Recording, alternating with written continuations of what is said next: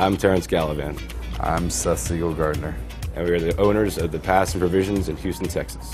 I mean, basically, we wanted to give some real disparity between the two experiences, two restaurants. I mean, both are definitely, we, we like to think, unique in their own, in their own right. Once you walk in the front door, uh, you're kind of led by the host to whichever side of the restaurant you're dining on, whether it be Provisions or the Pass. Uh, provisions is, you know, we have a big, long communal table that runs the center of the room. But yeah, the, the food there is really just meant to be small bites, all the way up to giant chunks of meat. And you know, we always say it's it's the food we like to eat. It's it's casual. Hopefully, it's super delicious um, and and really just meant to be a convivial a dining experience. Um, and then for the pass, I mean, you're basically led through an entirely different entrance that almost feels like you're going into a different world. And so, you know, the pass for us is like is in our heads. You know, it's it's how we think about food sometimes. You know, trying to be a little bit playful with certain things, but also like you know respecting like the beauties of fine dining too. You know, the champagne cart, you know, a petit four cart at the end of your meal, making sure you have amazing service, things like that. Things we love about fine dining, and then getting rid of all the stuff that we hated about it.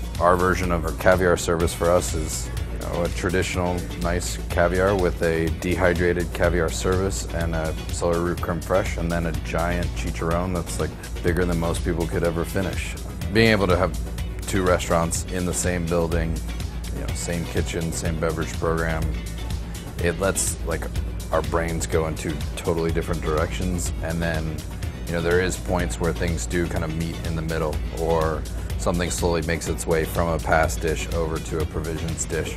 It couldn't exist without each other, and like two restaurants, one idea.